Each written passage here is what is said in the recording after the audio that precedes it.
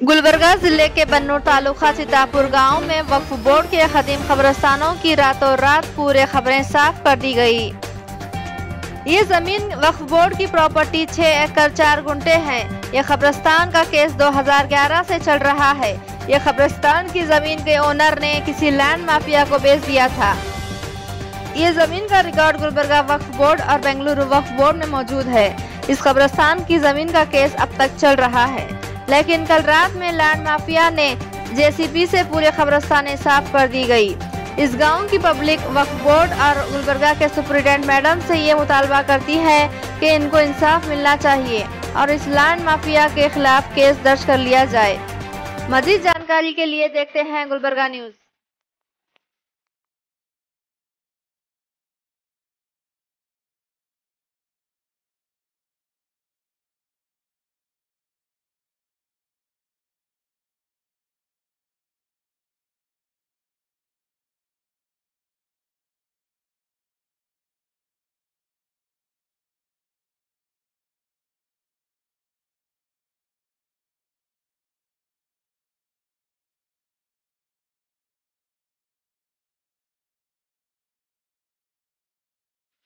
देखो साहब, मैं रात में दरगाह में सोया था।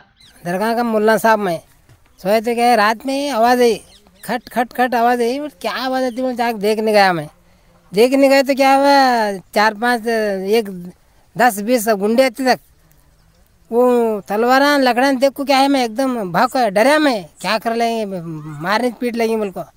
पूरा घबरा उकड़ उकड़ को फतरे बंदे दाल लगे। मैं डर को क्या है भाग को आया नहीं तो मेरे मुझे जान से मार देते नहीं रखते थे उन्होंने उसके सुबह से अभी तक खाना सोना नहीं खाया हमें। हमारे बड़ों की खबर खाने के बाद आदमी क्या कैसा होते हैं? हाँ। अब क्या? ये विलेज बेन्नूर भी तालुका चितापुर डिस्ट्रिक्ट गुलबर्गा। यहाँ के हम रहने वाले हैं मेरा नाम है मोहम्मद शफी मुल्ला। यहाँ पे जो है ना साहब पूरा कब्रस्तान था। डिमोलिश हो गया है कब्रस्तान आप देख सकते हैं अच्छी तरीके से। तमाम जो है ना मज़ारात यहाँ पर थे हमारे वालिदैन के हमारे बड़े लोगों के चाचा के बरदर के मामू के जितने भी गाँव के मुसलमान थे पूरे यहीं पे दफनाते थे। अब वो जो है ना साहब के वो सामने अलाउद्दीन बोलकर बंदा है उसने जो है ना मुतवली के पास से ले लिया है खेत लेके जो है ना डिमोलिश करा है।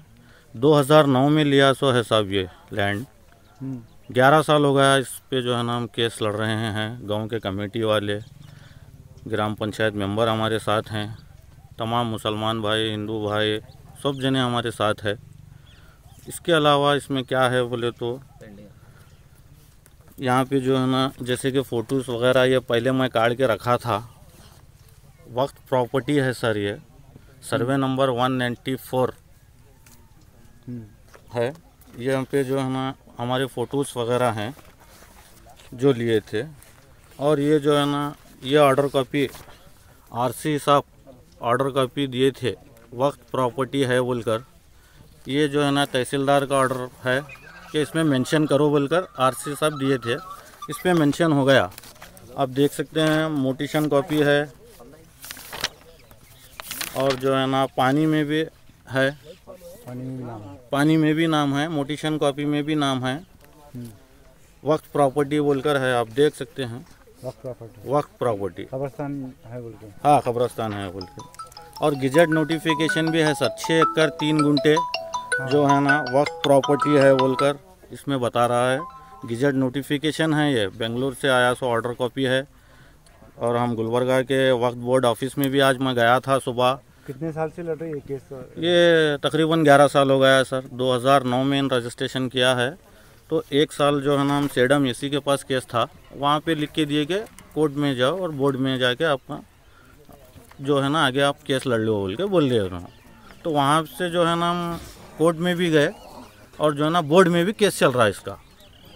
हाई कोर्ट में भी पिटिशन डाले सो है सर इसका। केस चलने के बावजूद भी हाँ केस चलने के बावजूद भी जो है ना काम कर दिया है डिमोलिश का। और जो है ना, तकरीबन मैं समझता हूँ केस जो है ना जजमेंट पे आया सो है। हो सकता है उसका वकील जो है ना, कुछ गाइडेंस दिया है उसे। हमको भी हमारे वकील साहब बोले थे और जज साहब बोले थे कि मैं जो है ना, यहाँ पे एक आदमी को अलर्ट करूँगा कि स्पॉट पे पंचनामा करके कब्रस्तान है या नहीं है।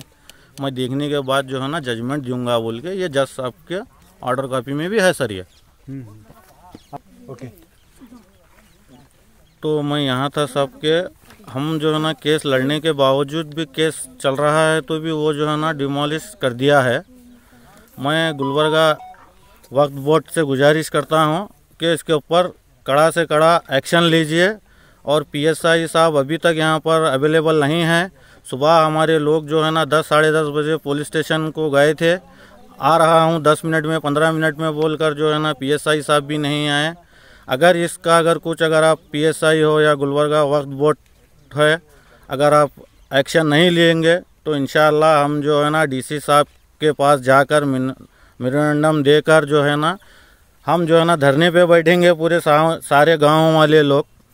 बस मेरी से इतनी सी इंतजा है कि इसको जो है ना नज़रअंदाज ना कीजिए कि एक्शन इमीडिएटली लेकर जो है ना पीएसआई हमारे एरिया के जो हैं जो सर्कल साहब हैं, जो भी बड़े बड़े अहदेदार लोग हैं मैं उनसे यही गुजारिश करता हूँ कि जल्द से जल्द इसको जो है ना एक्शन में अमल इब्तदा कर दे।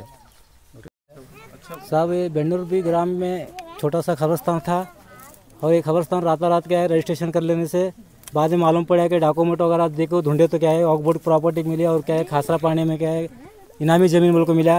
यही आधार पे एज पिटिशन के ऊपर क्या है, हम केस बुक करे। 2009 में क्या तो बुक करा मैं मेरे कुछ नहीं मालूम कि केस मैं चला रहा हूँ और मैं लड़ रहा हूँ कोर्ट के अंदर भी। पूरा गाँव कमेटी मेरे पीछे है और गाँव का सपोर्ट है। पूरे गाँव के लोग मेरे साथ में है। अभी तक का मेरा केस में दावा चल रहा है उसके साथ। और उनके वकील क्या है उसको पट्टी पड़ा क्या नहीं। उसके जजमेंट मिलने वाला है, बोल क्या करे, हैबत खा के राता रात में आके क्या है, पूरे खबरा फना कर दिया। पूरे खबरा फना करके रात में क्या चले गए। अभी तक नापता है। पुलिस स्टेशन में जाके हम क्या है, कार्रवाई किए। पीएसआई साहब नहीं है जमादार नहीं है सर्कल साहब नहीं है स्पॉट स्पॉट के ऊपर गाँव के पूरे लोग आके खबरस्तान के पास बैठे हैं, पूरे परेशान है गाँव के लोग। हालत ऐसी है कि हमारे छोटी सी बस्ती में कोई भी हमारे को सहारा नहीं है। हम बहुत से साल से केस चला रहे हैं, पीछे बहुत बड़ों को हम लेटरा भेजे, पूरा डीसी से पकड़ के इसी तरह पहले भी भेजे। वक्फ बोर्ड प्रॉपर्टी के लोग बोल रहे हैं कि वक्फ बोर्ड वाले आपको देखने के, उनका ये नहीं है उनको क्या खिलाए क्या पिलाए क्या है कि पूरे कहाँ के वहाँ उनको गड़प कर दिए। कानून के अंदर ऐसा है क्या सब बोलो, गवर्नमेंट प्रॉपर्टी गवर्नमेंट रूल्स गरीब को सहारा है, बोल के, बोल रहे कि क्या सहारा है हमारे लिए, बोलो। हमारे दादा, परदादा, हमारे बच्चे, कच्चे, सब जितने भी हिंद हैं, ये इतना पूरा एरिया है, यहाँ से पकड़ के इतना है। हर हमारे गैजेट के अंदर भी गवर्नमेंट के हिसाब से रूल्स, पुराना गैजेट था, दो एकड़ अट्ठाईस घंटे बोल के ऑर्डर भी हुआ था। हम क्या करें? दो एकड़ अट्ठाईस सुनते ना इसके बाप का है, ना हमारे बाप का है। गवर्नमेंट प्रॉपर्टी का वर्क बोर्ड की प्रॉपर्टी है बोल के वर्क बोर्ड वाले को सपोर्ट करके वर्क बोर्ड वाले को ला के इंस्पेक्शन करे, हर चीज़ करे, कहाँ के वहाँ और भी गड़प हो गए। ये क्या है? कुछ समझ में नहीं आ रही साहब पूरा गाँव के लोग परेशान है। और खबरस्तान पूरा रातों रात क्या है? गड़प कर दिया है। पूरे पत्थर वित्तर सब उखाड़ के ले जाके नाले में फेंक दिया, कहीं कंटे में फेंक दिया, क्या क्या क्या कर दिया? अब गाँव के लोग पूरे ऐसा बोल रहे हैं कि कानून हाथ में ले रहे, बोल रहे हैं। कानून हाथ में लिए तो कैसा होता बोलो? आप आप रहने के बाद हम कानून कैसा लेंगे हाथ में? कोई ऐसे ऐसे जगह अटका दिया। हमारे को क्या है, गुंडों में, क्रिमिनल में अटका के क्या है, तुम्हारे जान से मारती, तुम्हारे हाथा पाँव कतरती। कोर्ट में तुम चलेंगे तो देखो बोले। मैं बोला, अल्लाह के घर के लिए जान क्या? मेरा दिल भी देने को तैयार हूँ मैं। मेरे गाँव के लोगों का सपोर्ट है। तुम कुछ भी मेरे बाल भी नहीं बागा करते बोल के मैं केस यहाँ तक लाया साहब। लाया तो भी, फिर भी मेरे को क्या है फिर भी टॉर्च करे, पेशा में नहीं कैसा करे कहाँ कहाँ पकड़े मेरे को रास्ते में तो भी मैं नहीं डरा। गाँव के हिसाब से गाँव को लेकर चल रहा हूँ। मैं आज डेट था, आज फ़िलहाल ट्वेंटी सेवन डेट था सेवन को। वो डेट के लिए मैं क्या कोर्ट में जाके कोर्ट में बैठे हूँ। इधर पूरे हरकत कर को ऐसा ऐसा रासारी कराया। सुबह में क्या है, हमारे लोगों को बोल के गुजारिश किया। मार्बल पुलिस में जाके कंप्लेंट दिया तो अभी तक का पुलिस हमारा सहारा नहीं दे सहायता नहीं दे रही। ये क्या वजह है, आप देखना, जल्द से जल्द इसकी कार्रवाई करना। ये बेंडूर मुकाम है यहाँ पे, कब्रस्तान है यहाँ पे। यहाँ पे केस चल रहा है ग्यारह साल से? ग्यारह साल से चल रहा है, वो उसके बारे में तो हमको तजुर्बा नहीं है, बड़ों को तजुर्बा है इसके बारे में। कि रात को बारह बजे जेसीबी ला के लोगों ने पूरा कब्रस्तान को पूरा पूरा ये कर दिया, साफ़ कर दिया पूरा। कि हम लोग यहाँ पे गुलबर्गा में रहते हैं, यहाँ नहीं थे। और यहाँ के लोग जो भी हैं देखे वाले क्या है, बोले हम लोगों को भी। हम लोग यहाँ पे मौजूद है। और यहाँ पे 11 बजे सुबह में केस, मुसलमान सब मिलके, गाँव वाले मिलके क्या है, केसेस लिख लिख कर लिख मारबुड़ इसमें लिख कर दिए। और ना डीएससी है, ना पीएससी है, ना कोई भी नहीं है, ना इसकी कार्रवाई कोई कोई करने वाला नहीं है। क्या अब ये ऐसा होगा क्या, हम हम खुद हाथ में कानून लेना चाहिए हाँ? कब तक हम सफ़र करें? हम तुम लोगों को बोल रहे बोल रहे, बड़े हैं बड़े हैं, कानून से चलेंगे, कानून से चलेंगे, कानून हमारे को इंसाफ नहीं दे रही। क्या करना चाहिए? बोलो आप ही। हाँ? क्या करना चाहिए? हम ये खबरस्तान हमारे बाप का, हमारे दादा का, परदादा से। ये हम लोग हम तो पैदा नहीं हुए तो जब से खबरस्तान है यहाँ पे हाँ? ये क्या है? सख्त से सख्त उसको सजा देना चाहिए। और ये ये खबरस्तान क्या है? ये कितने साल से है, क्या नहीं? इसको क्या है मालूम है? इसको इंसाफ दिलाना चाहिए। ये बेणूर बेणूर बी का खबरस्तान का यह है। आज पॉलिटिशियन को गए थे हम। मगर पीएसआई भी नहीं आया सर्कल भी नहीं आया। खबरस्तान पूरा कुंटी गिंटी सब मारा। आज कौन भी हमारे को ये कर रहे हैं? दस साल से हम केस लड़ाते रह रहे। कौन भी कुछ भी कर नहीं सक रहे। अब इसको जो गवर्नमेंट क्या हमारे को सौलभ देते हैं क्या नहीं देते हैं सब? उसमें क्या है? हम बात कर रहे मोहम्मद जमादार। खानदान से है देखो बड़े बड़के हमारे सब है चले से हाँ ज़िले से सौ साल से। हाँ सौ साल से। हमारे सब बड़े बड़े के छा है। भोजते भोज कहाँ है? खबरस्तान में खबरस्तान में हाँ। खबरस्तान में है। देखो ये मुसलमान है हम। क्या हिंदू ने गोली नहीं बाली ने हाँ। पुलिस स्टेशन को आओ बोले तो भी आते बहुत साल से खबरस्तान है जिसे पिला को पूरा खराब कर छोड़े। तो केस करे तो केस करे तो भी पुलिस केस नहीं पकड़ रहे। नमस्कार। ಇವತ್ತಿನ ದಿನ ನಮ್ಮ ಬೆಣ್ಣೂರು ಬಿ ಗ್ರಾಮಕ್ಕೆ ಬಂದಿದ್ದೆವು. ಏಕೆಂದರೆ ಇಲ್ಲಿರುವ ಪುರಾತನ ಕಾಲದ ರುದ್ರಭೂಮಿ ಮುಸಲ್ಮಾನರ ಒಂದು ರುದ್ರಭೂಮಿ ಇದೆ.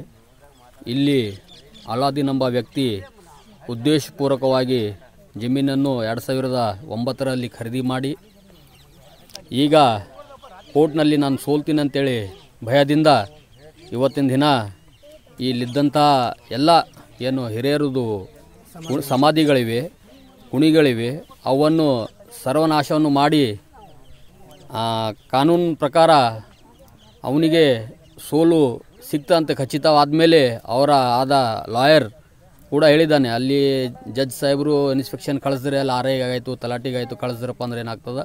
ಅದ್ರ ರುದ್ರಭೂಮಿ ಅಂತೇಳಿ ಅಲ್ಲಿ ಗೊತ್ತಾಯ್ತಪ್ಪ ಅಂದರೆ ನನಗೆ ಸೋಲ್ತಿ, ಹೋಗ್ಸಿ ಅಲ್ಲಿದ್ದು ಎಲ್ಲ ಎಂದ ಸಮಾಧಿಗಳು ತೆಗೆದು ಹಾಕ್ನಿ ಅಂತೇಳಿ ಅವ್ರು ವಕೀಲ್ ಅಂದ ರಾತ್ರಿ ಅಂದ ಹನ್ನೊಂದು ಹನ್ನೊಂದುವರೆ ಇಲ್ಲ ಹನ್ನೆರಡು ಗಂಟೆ ಅಂತ ಹೇಳಿದ್ರು ಇಲ್ಲಿ.